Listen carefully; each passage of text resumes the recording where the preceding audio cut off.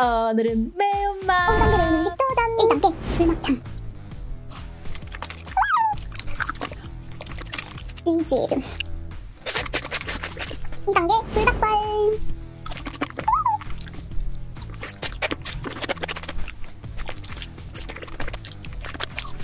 3단계 불닭볶음면. 이지 4단계 승주불냉면 매운맛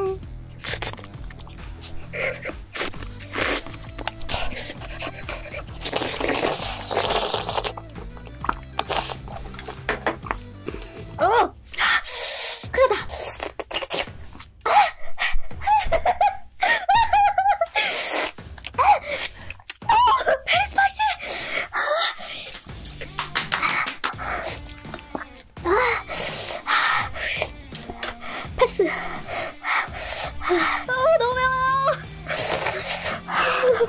5단계 실비김치 와 오, 너무 써요 어떡하지? 어떡하죠? 아, 아, 아, 배추님 한 점만 먹을게요. 오, 이건 패스할게요.